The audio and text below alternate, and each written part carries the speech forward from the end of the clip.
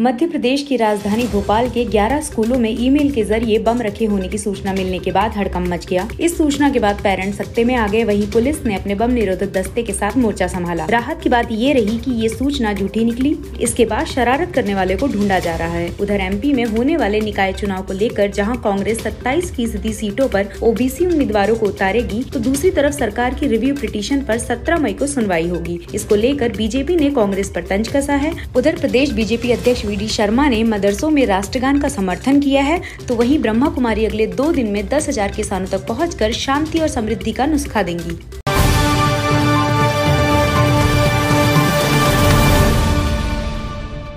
राजधानी भोपाल में शुक्रवार को सीबीएसई के बारहवीं कक्षा का पेपर होना था, लेकिन इसी बीच 11 स्कूल के पास ईमेल के ज़रिए बम होने की सूचना भेजी गई, जिसके बाद हड़कम मच गया। स्कूल प्रबंधन ने इसकी सूचना पुलिस को दी तो आनंद फानंद में सारे स्कूल खाली करवा कर बम निरोधक दस्ते को एक्टिव किया गया। राहत की बात ये रही की कि किसी भी स्कूल में बम नहीं पाया गया, जिसके बाद पुलिस इन मेल की जाँच कर रही है, इनके सोर्स का पता किया जा रहा है। पुलिस को उम्मीद है की ये किसी की शरारत हो सकती है, या फिर जाँच में किसी आतंकी संगठन का हाथ हो सकता है। इसी सच को जानने के लिए काम किया जा रहा है।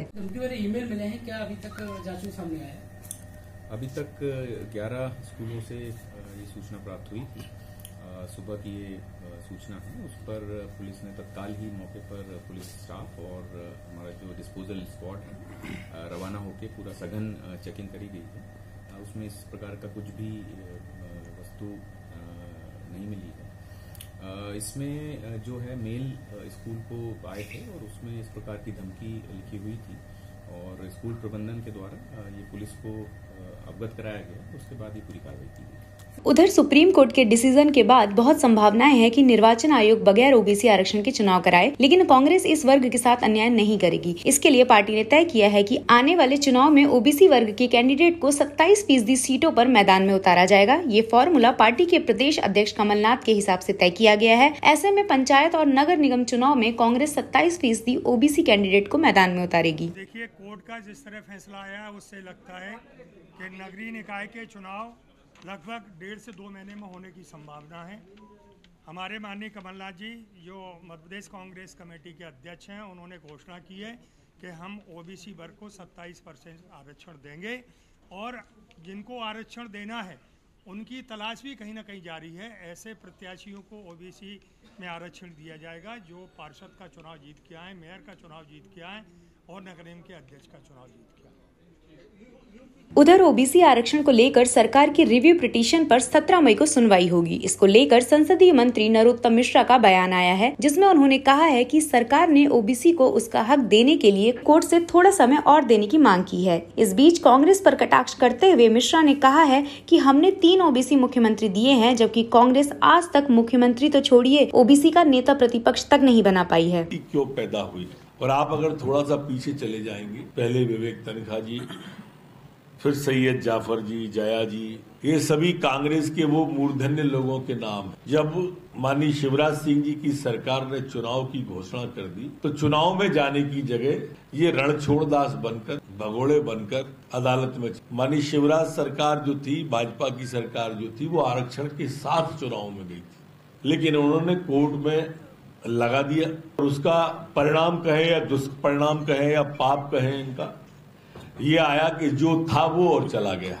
नया तो ये कर नहीं पाए।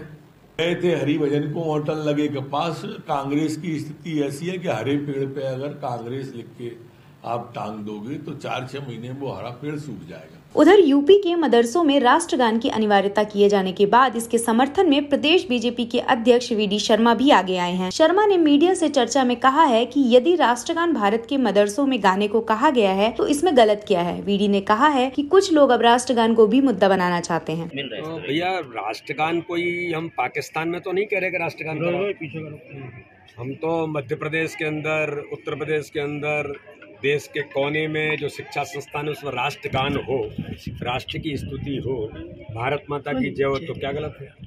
उधर ब्रह्मा कुमारी ने एक दिनी मीडिया सम्मेलन किया, जिसके बाद अब दो दिनी किसान सम्मेलन का आयोजन भोपाल के आसपास के क्षेत्रों में किया जाएगा। इसके लिए ब्रह्मा कुमारी की टीम किसानों को न केवल शांति का पाठ पढ़ाएगी, बल्कि उनके साथ खेती किसानी कर समृद्धि के तरीके को भी बताएगी। ब्रह्मा कुमारी ने दावा किया है की वे दो दिन में दस हज़ार किसानों तक पहुँचेंगी।